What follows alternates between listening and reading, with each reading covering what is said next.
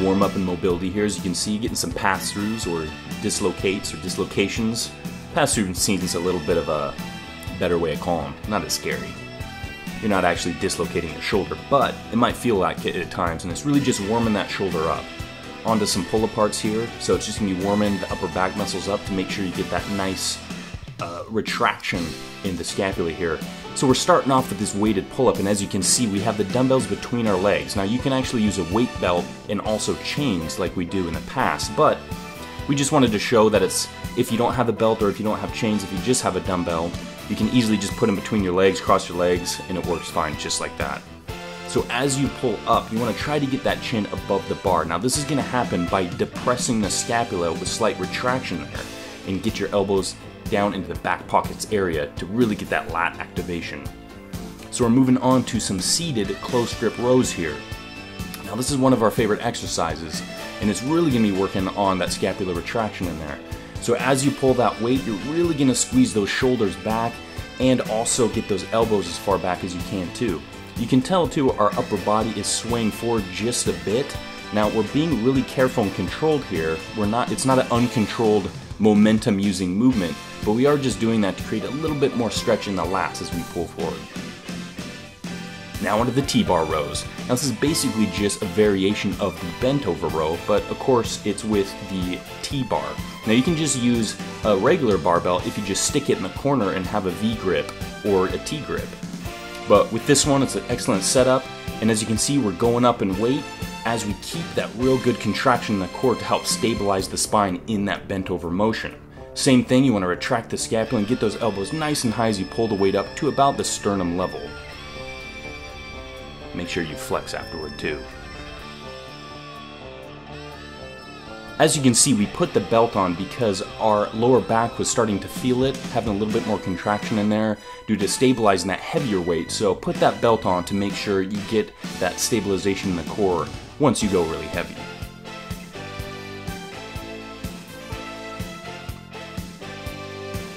Moving on to some single arm dumbbell rows here. Now this is a unilateral exercise, so really trying to concentrate on one side of the back and then the other, one lat and then the other.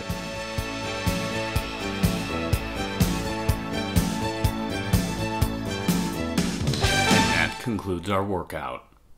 Hell no, we're just getting started. Anyone is going to have asymmetrical problems in the body. The thing is that you want to do certain exercises to try to help out with symmetry and to make sure you bring up those lagging body parts. And this is one great exercise you can do it with.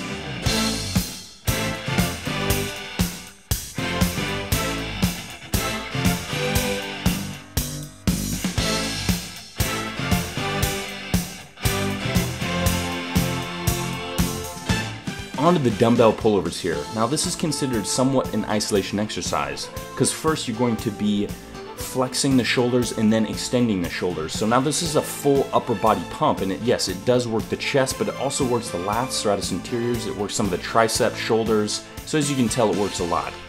So what you do is cross bench and you're gonna take a nice deep breath as you pull that weight overhead and then exhale as you pull it up and extend with the shoulders to the top position there. Make sure you get a nice deep stretch in the lats and a little bit in the chest, and then slowly bring it over to the top position. Make sure you start light and get a nice fluid motion. Not everyone is very mobile or as mobile as some other people in this kind of exercise, so don't expect to get the maximum mobility right away. It might take a little work, so take your time.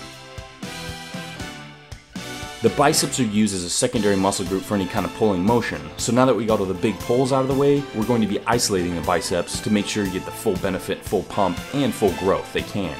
So we're starting off with some seated cable curls here. Pretty simple. It's kind of like a preacher curl in a way, but of course the cable is going to contain that constant contraction or constant resistance in there. So even as you bring it down or up all the way, you're to be feeling that tension in there, and it's to make those biceps work even harder.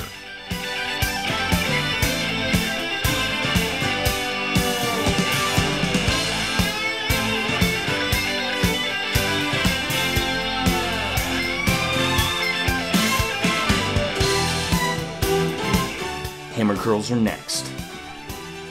I think this might be Thor's favorite exercise. Definitely. So with this one, you're getting flexion in the elbow here, but you're not supinating the palm. So this is, yes, going to be working the bicep, but it's also going to be working the extensors of the forearms at the same time, or at least more so than a standard supinated grip curl would do.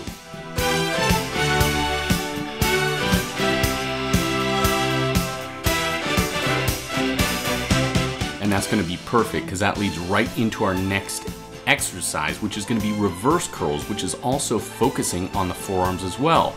You can see that Brandon's using it in the preacher curl setup, but you know what? That's just not good enough for us buff dudes. We're going to have to go for something a little bit more epic, a little bit more mythical. I'm talking about the arm blaster in the stone. Am I crazy, you say? No, I'm not. Here it is. Are we worthy? Yes, we are. Now it's time for us to perform this excellent exercise. So the great thing about the arm blaster, it's actually mimicking much like the preacher bench or the preacher curl. The back of the upper arm is getting supported, so it's going to be taking the shoulder out of the motion here. And you can see that we have a reverse grip. So yes, it's still working that bicep with elbow flexion, but it's also going to be working on those extensors of the forearm due to the pronated grip. And if you haven't tried the arm blaster, give it a shot because it makes your arms look giant. And sometimes the visuals while looking at yourself in the mirror can really motivate you to keep going strong. It's amazing how those little psychological tricks can really help. I mean, look, Brandon's biceps already 50% bigger. Thank you, Arm Blaster.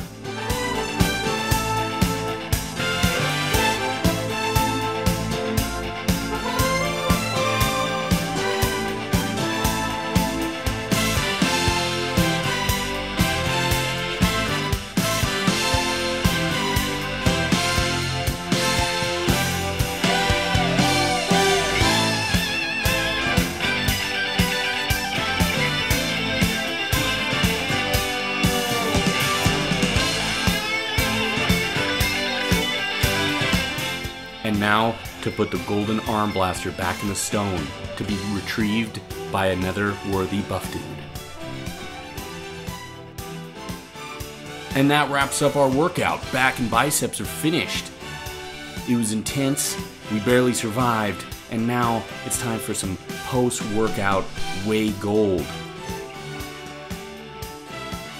We can't miss that anabolic window, especially on our long drive home in Los Angeles traffic.